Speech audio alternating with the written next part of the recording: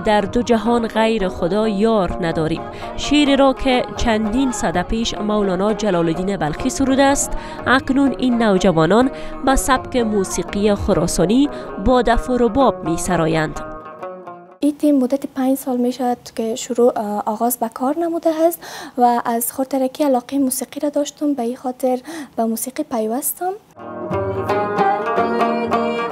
در این سبک موسیقی شیرهای عارفانه و تصوفی خوانده می شود و این دختران نیز شیرهای عارفانه از مولانا جلال الدین بلخی و حکیم ناصر خسرو را اجرا می کنند.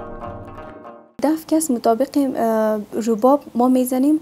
هر قسمی که رباب مثلا اگر آهسته بنوازن ما آهسته می نوازیم اگر شوخ بنوازن ما شوخ می نوازیم تقریبا در همین خطه تقریبا یک هزار سال میشه که این سبک اجرا میشه.